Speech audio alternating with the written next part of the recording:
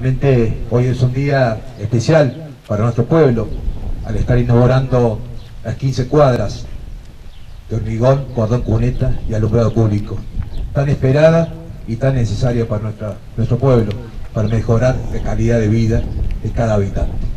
También me siento muy contento por haber dado muchísimo trabajo a la gente de nuestro pueblo. Realmente estamos pasando momentos económicos muy complicados, pero gracias al gobierno de la provincia de San Luis, a nuestro querido gobernador, al doctor Alberto Rodríguez lo hicimos posible.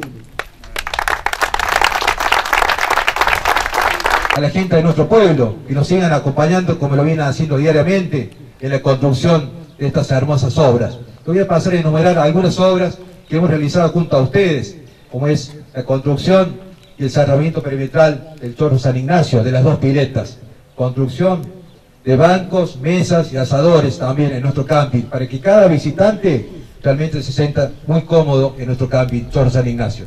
También otra obra, fundamental fue la refacción de nuestro club municipal, una obra muy emblemática para nuestro pueblo. Muy prontamente vamos a estar comenzando con la refacción de la plaza de Villa Larca, una obra muy importante para cada vecino de nuestro pueblo.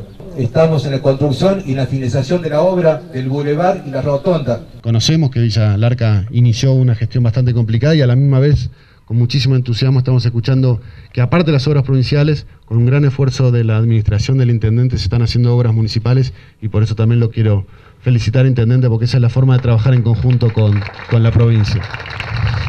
Agradecerle a los legisladores que siempre mancomunadamente y en trabajo en equipo siempre nos traen en este año sobre todo las inquietudes, las urgencias y ver dónde, dónde íbamos marcando la prioridad y planteándoselas al gobernador. Muchísimas gracias legisladores también por acompañarnos y por sobre todo ser parte de este equipo exitoso de más de 30 años.